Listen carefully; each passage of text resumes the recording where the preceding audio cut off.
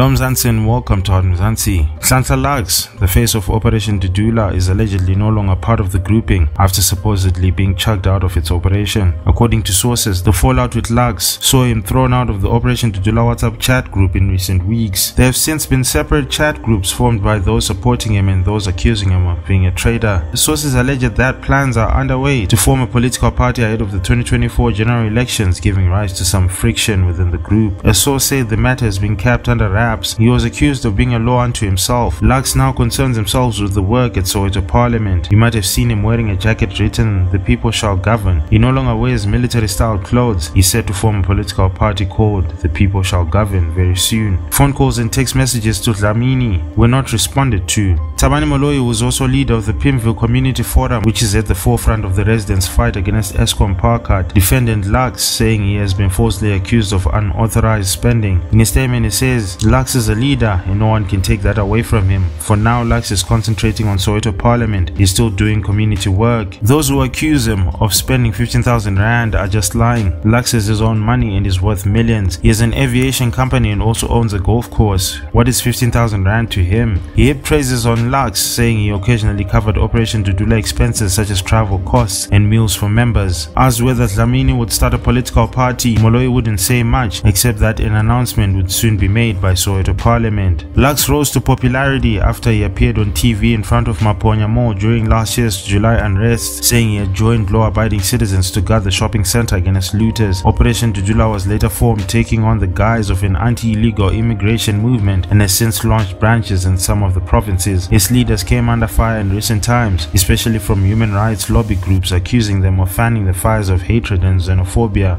Lux has reiterated in interviews that he won't leave community activism for politics.